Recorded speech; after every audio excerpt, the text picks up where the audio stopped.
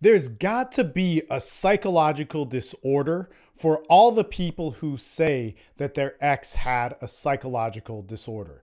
And this is one of those things, man. If you're one of those people, and we've all been there, I've been there, where we break up with someone and then we get obsessed with how fucked up that person was, how deplorably evil they could be. And now that we're broken up, we can now see all the evils that were hidden from us. And the only way they could be hidden is because this person is such a maniacal, evil person. Look, here's the thing, people. There are crazy people out there in the world. There are tons of them. There's a ton, and there's so many different psychological disorders that, you know, man, there's probably new ones every day. Maybe not, maybe there's, whatever. But the fact of the matter is, is so what? You're broken up from that person. You're done. Why does it have to be such a big deal? And I'm going to tell you this from, you know, my perspective. I've dated some crazy people. I've dated some truly fucked up people. But the one thing that I got out of that was that if I sat around ruminating on why they were such evil people or, or their true disorders, and I could also tell you this that most of you folks who've dated a psychopath or a narcissist or a Machiavellian or whatever the, the kitsch thing, a, a bipolar borderline person is, I've probably dated worse and I've had worse consequences from it. And yeah, part of that is probably because I'm stupid and I let it go too far. But the biggest part of that was that a part of me chose that person. And see, when we start blaming that my ex is a narcissist, my ex is a psychopath, my ex is bipolar, they're fucking crazy, and you don't know what mental illness is, we are putting ourselves in a position where we accept zero responsibility for that fact. And when I uh, when I accept zero responsibility for things in my life, guess where I put myself? I put myself in the blame game. I put myself in an area where I hate something. I put myself in an area where I have to be at war with something just to have a purpose about myself because my life isn't good enough to be there. When I can accept a responsibility and say, "Oh man, I dated a fucking psycho person. Good. I'm done with them. I'm it's over." No mas. Or I can even take it a step further and go, I wonder why I fell in love with that person. Sure, they lied to me about everything. Sure, they kept it hidden because that's what these psychological disorders do. So convenient for you, right? So convenient for you to be a victim. But what about that made me love them?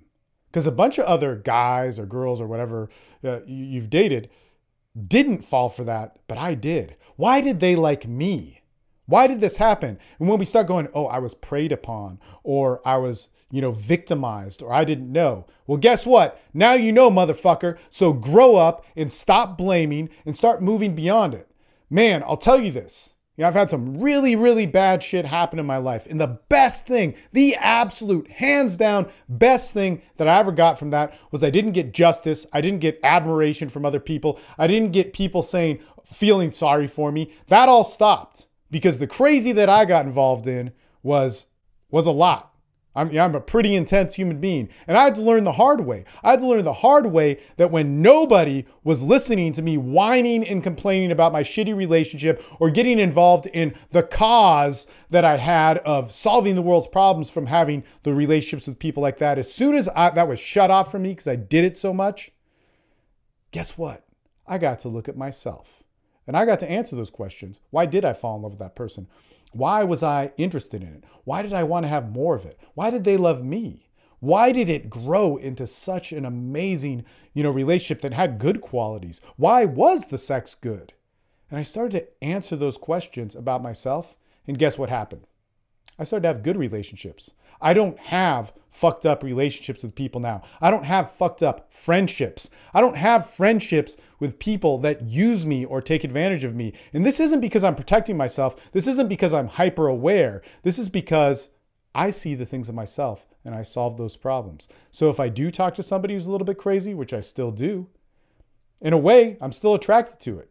In a way, I still like it. In a way, I still like having friends that might have that but I don't let it get into my life. See, it takes two people to fight. It takes two people to harm one another. It takes two people to get in these blistering arguments. And guess what? It also takes two people for. It takes two people to be a victim. All right? And the thing about it is, is that if you can solve that, man, that's key. I honestly think it. I honestly think it, man.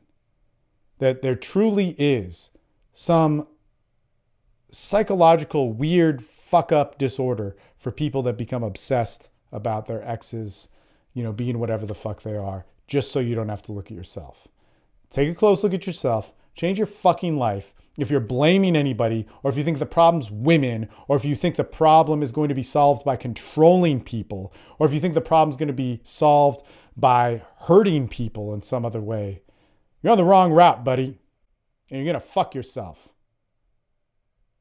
I found this the hard way. And, you know, I'll say this, man, I've, I've lived a crazy life. I've done a bunch of crazy shit, but I'm very grateful for it because I don't have those problems that 90% of the world has. Maybe because they didn't push it hard enough, maybe because they didn't fuck it up so much that that they saw that they had to change things. But I have a very good life. And why I make these podcasts, why I make these different messages is so that you don't have to screw up as bad as me. The reasons why I did was because the information wasn't out there. I didn't know. I didn't know what to do. I had no idea. I had no idea what to do. Like, you, you know, if it was normal or abnormal. If a girl came at you with a knife, I didn't realize it was normal or abnormal. If she, you know, fucked up all your cars or, or whatever it was, I didn't realize it was normal or abnormal to have somebody lie that much. Of course, I, I, I thought it was wrong. I didn't think it was right. But I didn't realize, like, wow, man, maybe I don't have to jump to extremes about, about this. Maybe I can just say, hey, no, I don't want to be with you anymore. Maybe I could handle situations a little bit better. I had to learn the hard way. You don't. Stop your fucking bullshit. It's the most pussy ass way to deal with some, something. If you come at me and you say your ex had a psychological disorder, I don't give a fuck. I don't give a shit. So what? You know what that tells me? It tells me that you are a pussy, you won't look at yourself, and you won't change the things about your life. Changing you has nothing to do with forcing and changing other people. If you need to get yourself out of a situation, get the fuck out. But stop talking shit, stop blaming, stop being a victim, and start accepting absolute responsibility for every fucking thing in your life, even if you got burned. Make sense?